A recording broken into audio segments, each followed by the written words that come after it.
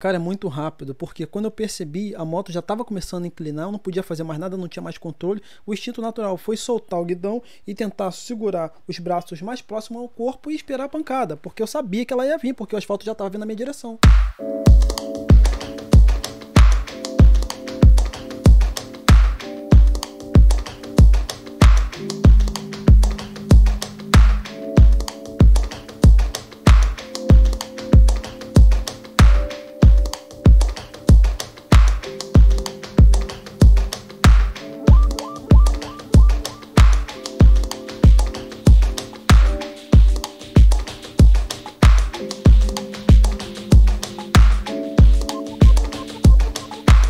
Olá pessoal, tudo bem? Meu nome é Eduardo, seja bem-vindo ao canal Brasil Duas Rodas. Esse vídeo é um vídeo um pouco diferente, tá? É o primeiro vídeo que eu tô gravando em casa, depois do acidente que eu sofri, fiquei algumas semanas internado e precisei passar por intervenção cirúrgica, então agora que eu estou voltando, as coisas estão voltando ao normal e agora eu posso fazer um vídeo para falar um pouquinho sobre a situação. Talvez esse vídeo fique um pouco longo, fique um pouco extenso, até porque não tem roteiro, não tem pauta, não tem nada, então ele vai ficar um pouquinho extenso. Mas é importante que você tenha um pouco de paciência e assista ele até o fim, porque é um vídeo muito importante, pessoal. A ideia aqui é falar um pouquinho com vocês sobre o meu acidente, falar e mostrar um pouquinho para vocês como está a moto no momento, o que que quebrou, o que que avariou, o que que pode ser recuperado, o que que não tem como ser recuperado, como ficou meu capacete, né? Isso é muito importante falar e mostrar para vocês essa situação. Falar um pouquinho do que ficou de lição desse acidente. Ah, Edu, você sofreu um acidente e ficou lição? Claro, pessoal. Se eu posso compartilhar algo útil com vocês que possam servir de lição, isso é muito importante, como diz o ditado.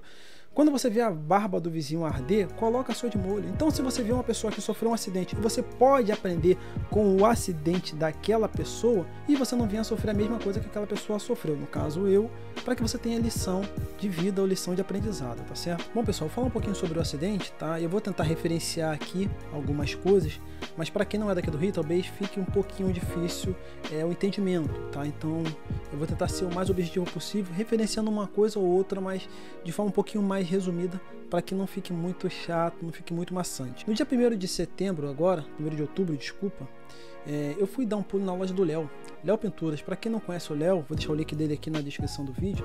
É um camarada que faz pintura, restauração e recuperação de carenagem aqui no Rio de Janeiro. Então, toda vez que eu tenho que fazer algum tipo de serviço, eu vou lá na loja dele lá, converso com ele e ele faz um trabalho bacana né? Já fez alguns trabalhos para mim, então eu sempre vou lá.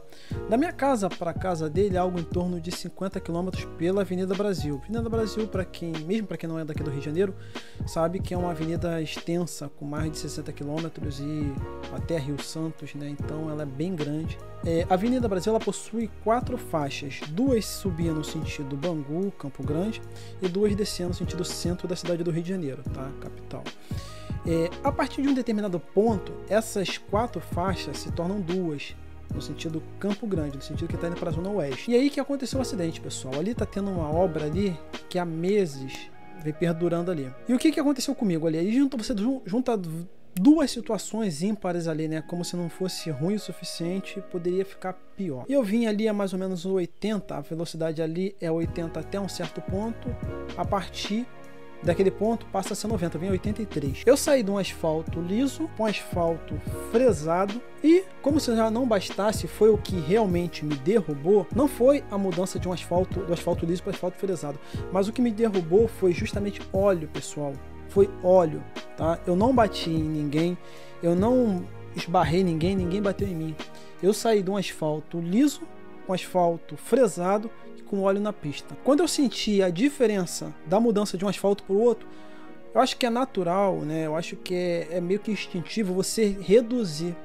Na hora que eu reduzi, eu puxei ali no freio para reduzir, eu reduzi em cima do óleo porque a mudança de asfalto ela estava praticamente em cima do óleo. E foi nessa, nessa mudança de asfalto que eu fui literalmente pro chão. A moto vinha assim, ela derrapou e foi embora, pessoal. Nisso ali, quando eu senti a moto derrapando, saindo, instintivamente a única coisa que eu pude fazer foi fechar os braços e sentir o impacto que eu sabia que eu ia rolando. Aí você junta o asfalto fresado, óleo na pista, com aquelas pedrinhas ali de asfalto fresado. Imagina a maravilha que foi, pessoal.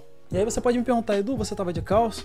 Estava de calça, estava de capacete. Vou mostrar para vocês o capacete agora. Eu estava de calça, estava de capacete, estava com camisa de manga. Eu vou falar para vocês duas coisas que me salvaram, vamos botar assim, de eu não ter estragos maiores naquele asfalto fresado. Eu estar com blusa de manga comprida, grossa. Esse capacete aqui me salvou literalmente. É, eu já falei aqui no canal sobre a importância de se usar capacete fechado e capacete de qualidade, tá? Deixa eu falar algumas coisas para você, mas antes eu te mostrar. Olha isso aqui, pessoal. Deixa eu ver se eu consigo mostrar para vocês aqui, ó. Deixa eu puxar para cá. Ó, literalmente comeu o asfalto, comeu isso aqui, ó. Olha isso aqui, ó. A queixeira aqui, ó. Ó, comeu. Deixa eu tentar mostrar um pouquinho de lado, onde fica a câmera, tá? Eu tava sem câmera no momento, tá? Olha como é que ficou o capacete por dentro essa parte aqui, ó, comeu isso aqui, ó. ó. Comeu o asfalto, comeu isso aqui, comeu aqui, ó, e comeu aqui, ó. Vou tentar mostrar de lado para vocês aqui, ó, onde fica a câmera. Ó, o asfalto arrastou isso aqui. Eu bati no chão e fui assim, ó, com isso aqui, ó, mais ou menos nessa posição. É, esse capacete aqui, meu rosto não sofreu absolutamente nada não quebrei os dentes, não, não tive impacto grande na cabeça, apesar de ter batido e ter arrastado por um, um bom pedaço. Esse capacete aqui me fez renascer, pessoal. Sem esse capacete fechado aqui, pessoal, eu teria literalmente, como esse lado aqui, eu teria literalmente essa parte aqui, ó, teria sido comida pelo asfalto fresado, aquele asfalto cheio de pedra, tá? Teria comido essa parte aqui, ó, tá? Seria mais ou menos essa região aqui, ó. Eu teria perdido isso aqui, ó, tá? E a queixeira é aqui, né? Meu queixo já estaria... Isso aqui estaria em carne viva, né, pessoal? Ó, soltou até por dentro aqui. Esse capacete aqui eu determinei, eu não utilizo mais ele. Esse capacete aqui eu já conversei com, com uma loja que faz é, produtos em acrílico eu vou colocar esse capacete aqui dentro de um, uma, uma redoma de acrílico e vou guardar ele como recordação, pessoal. Porque esse capacete aqui, ó, literalmente salvou a minha vida, pessoal. Quando eu falo aqui no canal sobre a importância de você utilizar um capacete decente, um capacete fechado, um capacete de boa qualidade, é esse aqui, ó. Não estou falando de marca, tá? Deixando bem claro, não estou falando de marca, estou falando de você utilizar um aparelho é, que vai proteger a sua vida. Então, às vezes, você economiza comprando um capacete de 70, 100, 150 reais. E aí eu pergunto para você: esse capacete, na hora que você precisar, ele vai fazer o que esse aqui fez por mim? Dificilmente, pessoal. Capacete aberto, eu não uso de jeito nenhum. Esse capacete ele vai ficar guardado como recordação de um fato triste, porém que serve de experiência para mim. Toda vez que eu chegar em casa, olhar esse capacete numa redoma ali na prateleira, guardado, ele vai me lembrar que eu preciso ter segurança, eu preciso voltar vivo para casa, eu preciso me proteger. Então esse aqui vai ser o símbolo de, não vou falar de um renascimento, né, pessoal, porque seria muito dramático, né, mais um símbolo de uma situação que eu passei desagradável que ele literalmente me salvou. Vamos falar um pouquinho agora sobre o meu procedimento cirúrgico antes de falar sobre a moto né, e mostrar para vocês como ficou um pouco o estado da moto. Bom, inicialmente eu fui para o hospital público, que foi o Albert Schweitzer em Realengo. Passei pelo primeiro atendimento, que foi identificado que eu precisava operar o braço, na verdade eu precisava, precisava operar o punho, precisei colocar 11 pinos aqui na minha mão, 5 aqui com 6 aqui em cima. Graças a Deus eu não precisei colocar aqueles grampos, né, que a gente costumeiramente vê quando tem um acidente de moto e aí o motociclista precisa colocar aqueles grampos lá para poder fazer a junção do osso, né? Graças a Deus não precisei fazer aquilo. E aqui eu quero fazer, abrindo um parênteses aqui para fazer um agradecimento e um elogio, porque quando eu cheguei lá no hospital público, cara, é uma medicina de guerra. Né? Vou dar um exemplo aqui bem simples, mas se você tem um plano de saúde, diferente de quem não tem um plano de saúde, você vai para um hospital público, nossa, você consegue perceber uma diferença absurda. Você consegue perceber como é ou como está o sistema de saúde nosso precário. eu vi três situações que me chamaram muito a atenção aqui, que marcaram a minha mente envolvendo um acidente de motocicleta. Eu não vou detalhar porque são cenas dramáticas, mas eu vou resumir. Dois motociclistas com ferro, um com ferro grampo, tá? Aquele grampo que a gente conhece na perna, outro com grampo do fêmur até o tornozelo e outro que chegou em estado de fratura exposta. Quando eu sofri o acidente, o médico ortopedista me informou que eu precisava operar, iria me internar e a cirurgia era para 30 dias. E eu expliquei, doutor, 30 dias meu osso vai calcificar até a cirurgia acontecer. E ele informou para mim que infelizmente não podia fazer nada porque o sistema de saúde estava muito sobrecarregado, não tinha como atender todo mundo, não tinha como socorrer todo mundo, então tinha que literalmente esperar. Foi quando acionei o plano de saúde e fui transferido para o particular. No particular, eu entrei 7 horas da noite do mesmo dia do acidente. 7 horas da noite e no dia seguinte, 10 horas da noite, no dia seguinte, eu já estava subindo para mesa de operação para poder fazer a cirurgia, né? Então é complicado, pessoal. Eu, eu não estou aqui para fazer uma crítica ao sistema de saúde, ao contrário, estou aqui para fazer um elogio aos médicos que trabalham naquela situação extrema, né, que eu chamei de medicina de guerra, porque realmente é uma situação muito peculiar, porque não, não tem, não se, pelo menos é o que eu vi, não se tinha uma estrutura própria para você exercer a medicina. Você faz ali o que é possível. E mesmo assim eles estão lá bravamente lutando e sabe ajudando, defendendo as pessoas da forma que dá. Então eu quero agradecer muito a equipe do Corpo de Bombeiro que me resgatou, me levou para o hospital, a equipe do Albert Weiss lá em Realengo que me atendeu, me deu primeiro suporte e a equipe do, do Badim que fez a cirurgia, que me atendeu super bem e que me ajudou na minha recuperação total. Bom, pessoal, a outra parte que eu quero falar com vocês agora é para mostrar um pouquinho sobre como ficou a situação, como ficou um pouco o estado da moto. Já adianto para vocês que o estrago foi que eu considero ser mínimo, né? Porque eu não bati. Se eu tivesse batido, eu creio que o estrago seria muito maior. Como eu derrapei e minha moto ela possui slide que ajudou bastante, então isso minimizou muito o impacto e o estrago na motocicleta. Então vou mostrar para vocês agora como ficou a situação da moto e na sequência eu volto aqui para fazer um encerramento e falar mais algumas coisinhas breve com você. Bom pessoal, vamos lá, mostrar para vocês o que, que quebrou depois do acidente, tá bom? Vamos lá, detalhadamente, tá? A aba do tanque rachou aqui, tá? o paralama quebrou sobrou somente essa pecinha aqui, ó. É, sobrou somente essa pecinha aqui, ó. Para foi pro espaço. O bloco ótico ralou, quebrou, né? Tá quebradão aqui, dá pra ver rachado.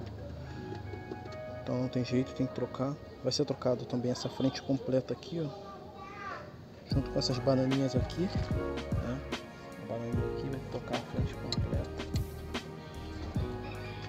Bom, as setas, o conjunto de seta também vai ser trocado. Ralou aqui, ó, comeu com asfalto, dá pra ver. A carcaça, né, do painel, o painel é esse aqui, essa aqui é a carcaça do painel. A carcaça do painel comeu aqui e aqui. Também vai ser trocada essa carcaça do painel. O painel em si não vou trocar, apesar de estar tá arranhadinho aqui, mas eu não vou trocar porque o painel está inteiro. Bom, aqui do burrinho de freio, né?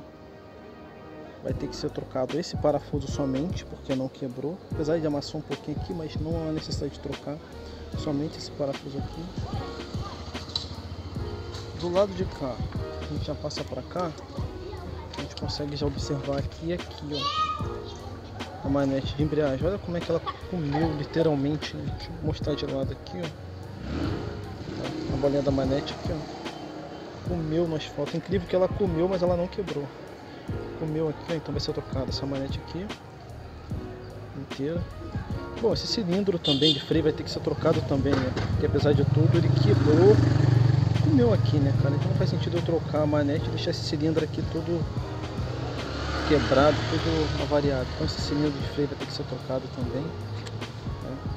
Aí a gente passa pro lado de cá, o tanque não amassou, arranhou aqui, pra ver aqui, ele arranhou mas ele não amassou. Tá. Essa aba do tanque do lado de cá, ela quebrou, então vai ser trocado. Logo as duas, porque a de lá também quebrou, então essa aba do tanque também vai ser trocada. Bom, aí a gente desce para cá um pouquinho e aí vem a parte do slide, né? Lembra que eu falei para vocês que o slide que segurou é, a moto de não ter um estrago maior? Então, esses parafusos aqui ó, vai ser trocados. Trocar esse aqui com esse aqui. Então vou trocar esses dois parafusos aqui que eu seguro o bloco do motor. Então vou trocar esses parafusos aqui. O slide, por incrível que pareça, ele quebrou o parafuso, mas ele não empenou. Né?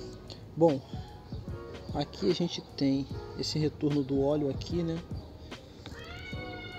Vai precisar ser trocado também. Ó, que amassou aqui, então é bom já trocar. Mas o que, que a gente tem aqui? A pedaleira, né? Então a gente tem a pedaleira aqui, deixa eu passar para lado de cá. Literalmente comeu a pedaleira, então vai ser trocado logo as duas, é uma peça barata, então a gente troca logo as duas. A pedaleira a gente vai precisar trocar também, a pedaleira. Aqui a gente tem aqui a proteção do escapamento, que também comeu aqui. Ó, também precisar trocar a proteção do escapamento aqui, junto com essa pecinha pequenininha aqui e essa ponteira aqui do escape. Né? Mas o escapamento em si não, não amassou, não arranhou, incrivelmente está íntegro, né? Bom, passando para a carenagem traseira, queimou, vamos chamar assim, né? queimou um pouquinho aqui no asfalto, mas aqui é galho pequeno, dá para recuperar. Trabalhar aqui na massa na massa poliéster aqui dá para trabalhar tranquilo. E aí a gente passa para cá, a parte de cima aqui, né? Incrivelmente não quebrou o retrovisor, isso aqui também que arranhou, né? Queimou, mas isso aqui a gente dá uma trabalhada na massa poliéster, uma lixada de leve, recupera. Os dois retrovisores estão bons. O guidão, vou trocar o guidão também. É importante que ele empenou um pouquinho o peso do guidão aqui, então eu vou trocar. Basicamente é isso, pessoal. E o restante, vida que segue. Tá? Trocar os cabos, aceleradores, de retorno, de freio, embreagem. Né? Ah, quebrou aqui a frente do painel, né?